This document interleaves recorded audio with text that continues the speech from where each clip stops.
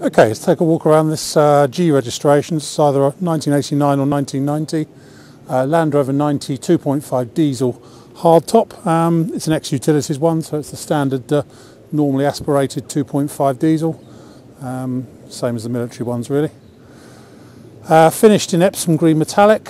Uh, originally it was white. It's been um, NATO green at some point and now, uh, as I say, Epsom green metallic. It's been sprayed rather than rolled or brushed um, but some while ago because the paint is flaking off in one or two areas.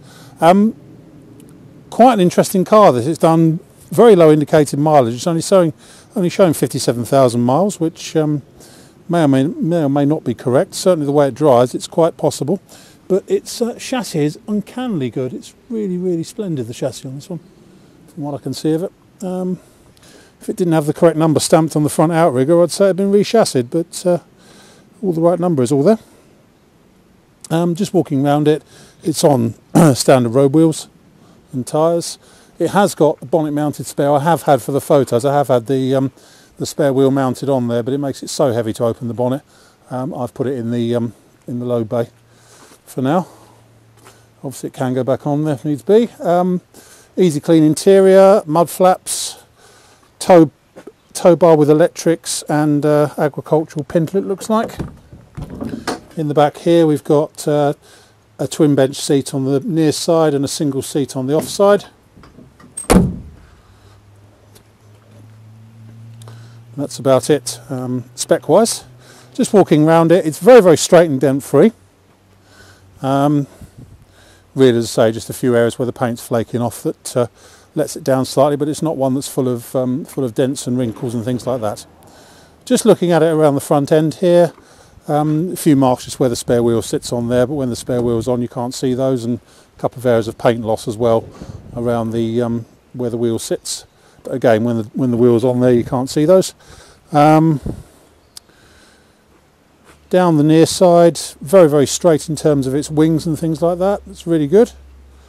Um, very, very tiny dink just there in the front of the near side front wing. Not broken the paint though. A few areas of paint chips on the um, on the wings. Up here, it would appear it's had um, probably scuttle corners done because they're a very very slightly darker shade of green, I think, by the look of them. Um, and obviously uh, the original white and green is just showing through underneath the windscreen as always uh, and up here and around the seams and things are generally where you can see it um, on the roof above the screen there down the gutters if you look hard enough um, side A post is fine, that's all quite good there. Uh, near side, oh, near side mirror housing has got a hole in the back of it. Doesn't affect the mirror itself though. Near side door has obviously had a bit of spraying done around here. I don't know what that's all about. Um, some blemish or something. Feels fairly uh, fairly flat, but um, there's evidence of spraying around there in a slightly different shade of green. Um, rest of the door is very good from electrolytic reaction, but I do know the frame on this one is poor. Um, electrolytic reaction down the bottom edge and delamination.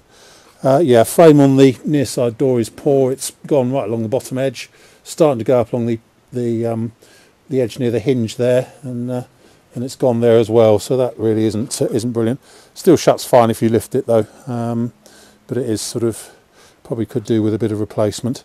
It's obviously had um, a patch in the uh, the floor on the near side on the footwell. That's um, looks like it's quite well done though. Inside here, standard Landy interior. Seats are slightly um, slightly torn on the passenger side and on the driver's seat cushion. Backrests are fine though. It's got a centre cubby box. Dash has got a couple of extra switches and stuff in it. I don't know what they do. Um, and the cover for the uh, transmission tunnel just needs its big um, cable tie around it. Still the, well not original, but still olive green inside there. NATO green. Near side rear wing is all fine. Um, near side van side is all good as well. Um, roof is all fine there. So very, very straight this one. Um, cross member looks as good as the chassis. This uh, rear door, a little bit of delamination and paint loss on the base of the rear door. Uh, but otherwise bad at all. It's obviously the rear door's come off for something else, but the um, the frame on the bottom is fine. No problems there at all. In the back here, standard Landy really.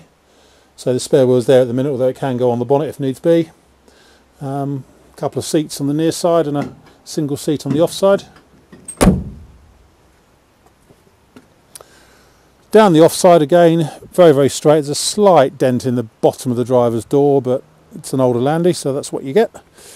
Um, that's all good there. Van side is good. Offside rear wing is fine. The eyebrows are a little bit discoloured on it. They're sort of black and yeah, black and a bit grey. Um, a couple of longer hedge scratches up here in the top of the near, of the offside van side. Um, some electrolytic reaction on the uh, top of the driver's door and paint loss around the top hinge. Paint loss around the back of the, the A post on the driver's side. And the modesty cover's a little bit crinkled on the driver's side. Uh, again, I think it's had um, work on the scuttle corners. Possibly the uh, new sections let in because uh, the paint is a very, very slightly different shade of green.